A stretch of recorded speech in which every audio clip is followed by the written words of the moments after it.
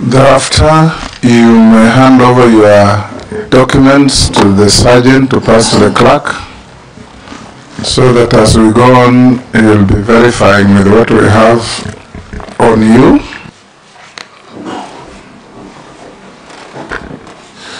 Honorable John Mbadi, uh, we know you have been with us, and you've been nominated by His Excellency the President to occupy the high office of CS Treasury of the Republic of Kenya at a time when exceptional skills are required to help navigate the country through some difficult moments in our history. We want you to introduce yourself for the record, give us a little preview on your educational background, your work experience, and uh, why you feel suitable to hold the office to which you have been nominated. No more than five minutes. Yeah, thank you, Mr. Speaker, and honorable members of the Appointments Committee of the National Assembly. And Mr. Speaker, as you rightly put it from the beginning, I know this committee has a constitutional mandate and responsibility uh, to vet appointments or nominations by the President. And so, uh, being colleagues notwithstanding. However, I just want to mention very quickly, Mr. Speaker, that I'm John Mbadi, as I've mentioned before, and as you rightly mentioned, I was born 53 years ago in a small village called Seka in Gwasi, uh, uh, Suba South constituency of Homa Bay County. I went to school, uh, first um, Seka Primary School, three years. That's class 1 to 3, class 4 to 8, in another school called Ligongo Primary School. I'll not go into the details because we don't have time to uh, talk about my childhood uh, history. I then proceeded to Kokoro High School. Kokoro Boys is in Awendo constituency, modern day Awendo constituency, where I did my KCSE and then later proceeded to the University of Nairobi School of uh, Business Studies, that is um, a Faculty of Commerce. I'm a graduate of accounting and uh, I'm also certified public accountant. Actually, I'm a member of the Institute of Certified Public Accountants. I am member number 6101, 6101, and I'm in good standing, Mr. Speaker, as can be attested by the uh, file that I've just passed across. Uh, then I must then move straight, uh, Mr. Speaker, to my work experience, uh, which uh, spans over 28 years now. After graduating from the University of Nairobi, Mr. Speaker, I was employed to work with the same university in the finance department. Started off at the very basic level, entry point for a graduate, which is assistant accountant, where I was basically doing uh, the routine accounting duties. Uh, but later I rose very quickly uh, to become an accountant, finally to senior accountant two, and, uh, and, and, and finally to senior accountant one in which time now I was involved in more advanced accounting work. I actually was responsible for preparation of the final accounts for the university. I was in a team that was doing that and preparing for final audits. I was also involved largely in cash flow management for the university. I then later left the university uh, to work for an international organization called Medair East Africa. It's a humanitarian organization with headquarters in Switzerland.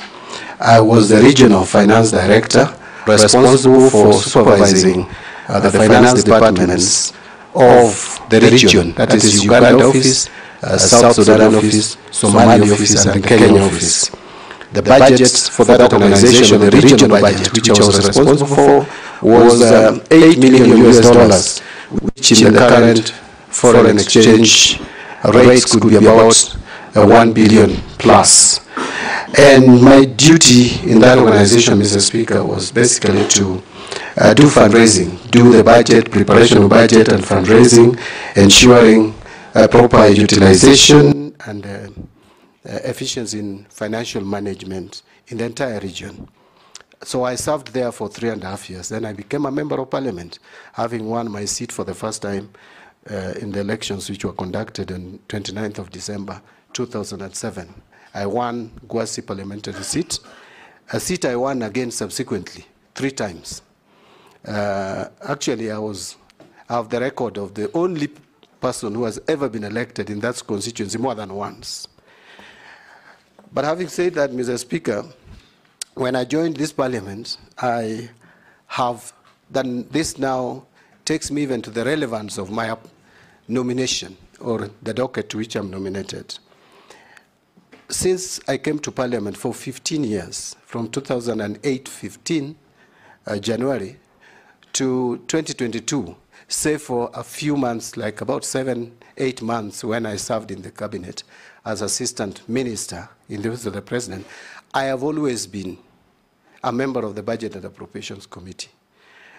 This committee is the one that actually has the constitutional responsibility and mandate uh, to prepare or the budgets of this country. Actually, the budgets that come from the National Treasury are estimates. The budget is, is a preserve function of the National Assembly of the Republic of Kenya. So during which time, when I was a member of the Budget and Appropriation Committee, I interacted a lot with the Kenyan budget and the macroeconomic policies. I can, I can attest that I've interacted with the budget review outlook paper, which is always prepared every year.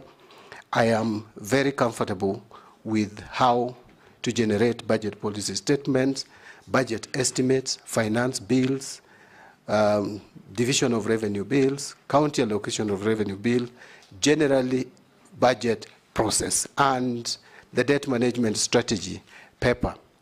So, Mr. Speaker, I don't want to go into much details, but let me just mention for relevance that as Assistant Minister in the Office of the President, I was also involved in helping the Prime Minister. I mean, in the Office of the Prime Minister, sorry. I was Assistant Minister in the Office of the Prime Minister. And in that office, the responsibility of that office was basically to supervise and coordinate government functions in all ministries, departments, and state agencies which is very much in line with my role at the Treasury if this committee proposes my approval to the National Assembly and fi finally approved and appointed. In that office, Mr. Speaker, you will recall that there was no minister. And you will also recall that at the time I was appointed, Mr. Speaker and honorable members, there was not even a deputy prime minister. Because remember, the former president, who was a deputy prime minister, had uh, stepped aside because of the cases that he had at the ICC. And the current prime cabinet secretary, who was another uh, deputy prime minister, had already, because of political differences, uh, uh, practically left office. So I was basically deputy or assistant prime minister during that period that I was there. And so I, uh, by default, and I helped the Prime Minister in coordinating government functions. Now, um, quickly, uh, because I think my time is almost up, my work in Public Accounts Committee, first as a member in the 11th Parliament for five years, and later as the chairman now for two years from 2022, October, I have interacted with uh, how the government spends its revenue. So the government spend is something that now I understand very well. So if I'm given this opportunity, I can easily bring a difference in our financial management because that is a big concern in this country at the moment. Mr. Speaker, I think I would leave it there because if I went now to talk That about my, my, political life and chairing ODM for 10 years, and I, I think I would take all the time that's allocated for this vetting. So let me stop. That will do for now. I'll invite members to ask you questions. And like I said, members, don't be prejudiced by the fact that John Mbadi is your colleague. We have interviewed colleagues before, and you must be uh, able to ask questions without fear or favor. David Speaker, you'll go first. Thank you, Honorable Speaker. Honorable Mbadi, I think this is within your forte. Uh, as you know, there's only two sources of revenue for government, which is borrowing or by taxing. Currently, uh, Kenya's public debt is approximately 72% of our GDP, which is uh, started causing concerns across the country. Um, and, um, and, so, and also it has increased the debt servicing costs. It's affected our fiscal space for development projects. And so in the light of the rejection of the finance bill, if approved, if this appointment is approved, how do you plan to address Kenya's high public debt and ensure sustainable debt management? And in connection to that, uh, the Kenya Revenue Authority has struggled with tax collection and, uh, and has not been very efficient on doing that, and therefore we've had a tax revenue shortfall. And uh, all the efforts to try and increase the tax base and tax the informal sector has been heavily resisted. And um, which leaves just the, those who are formally employed paying the tax. So what measures will you implement to improve tax collection and expand the tax base without overburdening the taxpayers? Thank you. Thank you, Mr. Speaker, and uh, thank you, uh, Madam Deputy Speaker, uh, for these two very important questions. I will start with the issue of public debt. Mr. Speaker, it is true that public debt levels in this country is worrying. Uh, in terms of percentage, it could be 72, but I think it's still in the region of 67, 68 percent of our GDP, which is very high.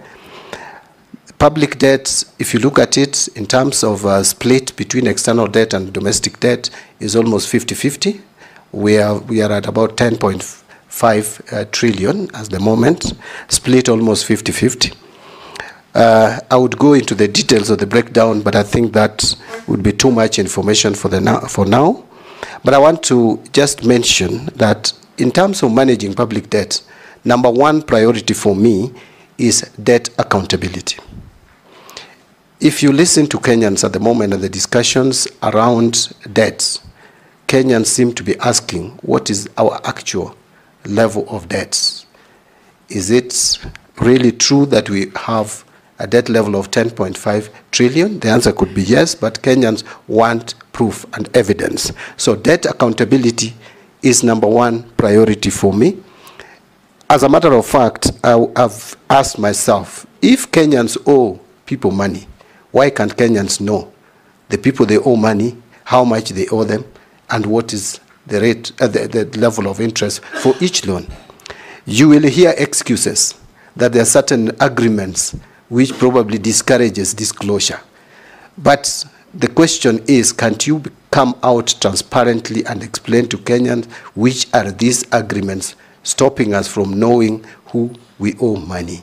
One of the things that I think we need to do is to make a debt register a statutory document, which should be published every year like we publish all the other documents. Kenyans should know. It is not the government that owes money to Chinese, it is uh, to China government or to World Bank or to IMF. We know World Bank is the leading, single leading uh, lender to Kenya in terms of amounts, followed by African Development Bank. Number three is China. Number four is Eurobond. These people don't, it is not the government which owes the money. It is not the treasury. It is the people of Kenya, the taxpayers, who owe these people money. You cannot owe someone money without knowing how much you owe. So I want to put it that debt accountability is important. Two, we must work on linking projects to loans. We cannot borrow loans for general budgetary support. Actually, where we lost it, Madam Speaker, Mr. Speaker, and Madam Speaker and honorable members, is from 2014, we shifted our borrowing strategy from specific donor-funded uh, projects to general support. What that means is that you do your maths, you calculate your, you, you do your estimate, and then you get your revenue, and whatever is remaining, you put to debt. So debt comes to this country, like the Eurobond, without going to specific projects. How then would you pay that loan if it does not fund value-adding projects or proper investment in public assets? So that is something that we must do. Going forward, I'm talking about now going forward because what has happened has happened. We'll have to deal with it, but going forward, that is what we must do. A lot has been said about revenue mobilization, and the focus has been that we should be changing tax rates, we should be increasing tax rates, we should be coming up with new taxes. I don't think that is the solution. The solution to tax mobilization or revenue mobilization should be targeting the tax collector, KRA. KRA is like a cow which we milk without feeding. We have a provision that 2% of our revenue should go towards building capacity of KRA, but we don't do it.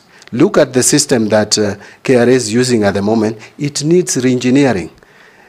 If you, uh, you hear or you listen to those who are involved in collecting taxes, especially, uh, especially uh, um, uh, custom duties. Custom duties, we are losing a lot through smuggling, through counterfeit products, because we don't have a system. We don't have a, a system that is foolproof, a system that can help us uh, manage uh, some of these tax leakages. Remember, there was a time, and I'm sure many of us, uh, almost all of us here, are old enough. You'll remember that there was a time when KRA had a very good policy of graduate recruitment into KRA, and they were properly trained, like even for two years. You must have properly trained tax experts. The way we are recruiting staff at KRA at the moment and deploying them needs to be relooked into. You cannot have people who are not properly trained to collect taxes from people who hire properly trained accountants to calculate their taxes. I also want to say that you need to look at the leadership and management of KRA in general. So my, one of my first tasks will be to make sure that I have a sitting with KRA to look at how we can reform that institution. Because there was a time in this country, not long ago, when we were collecting 18% of our uh, GDP as taxes. Today it is 14%.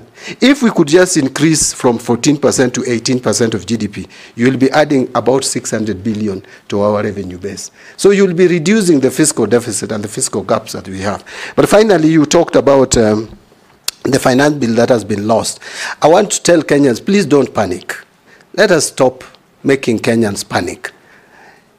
Mr. Speaker, you have been here with me. In the 10th Parliament, and even some, uh, I think up to 11th Parliament, finance bill used to be passed in September. We used to have three months in the, into the financial year to, to pass finance bill. The minister then was allowed by law through uh, revenue collection order to allow for some taxes, interim taxes to be collected. But the bottom line is the law could be in place in September, on September 30th. So there is no cause of alarm. We have a legal framework which is still obtaining. Uh, you know, yes, the uh, Finance Act of 2023 has been declared unconstitutional, although I don't know whether I'm correct, that has been appealed. If that is correct, that is good. But still, we don't have a lacuna. In fact, Finance Bill is an omnibus amendment bill. We have uh, about five or six legislations that Finance Bill usually amends. We have excise duty, we have in, uh, uh, excise duty, we have uh, uh, import duty, we have uh, value-added tax, we have income tax, we have tax procedures acts, and then we have fees and levies. These are specific legislations. Mr. Speaker, this House, if I'm approved, this House should help me bring these legislations directly touching on these specific statutes. We don't have to have a finance bill, but I'll seek the guidance and advice from the Attorney General.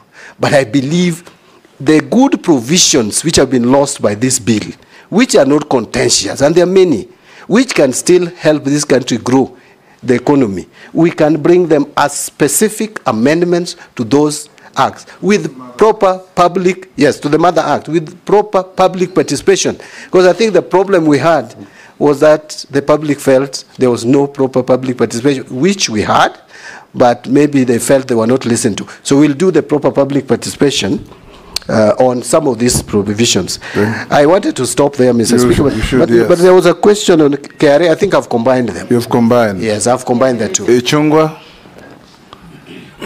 You are birds of a feather. I, I, I hope we won't flock together. Uh, thank you, thank you, Honorable Speaker. First, on a light note, Honorable Speaker, you know, I have always argued with John Mbadi on the floor on who qualified before the other. now that we are birds of a feather, I can now confirm from his certificates that I actually qualified six months ahead of him. but, uh, Honorable Speaker, uh, besides being birds of a feather in the profession, um, let me declare interest because John Mbadi was also an accountant at the university when I was a student there.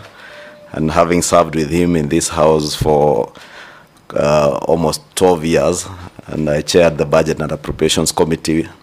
Where Mbadi now CS nominee finance in the National Treasury, you, and you've put it very well. And uh, you know there are many things that we agree on, especially regarding the budget making process. And uh, having been a member of the Budget and Appropriations Committee and also chaired the Public Accounts Committee, you have said you have had a very good uh, oversight of the expenditure side accounts committee. You have said you have had a very good uh, oversight of the expenditure side of government. And uh, I must agree also with you on the revenue side in terms of uh, the finance bill being an omnibus bill and things that uh, we can secure from the finance bill that uh, is seen to have been lost. But you've also touched on issues touching on KRA, and there are systemic problems in KRA. And uh, you and me know that uh, our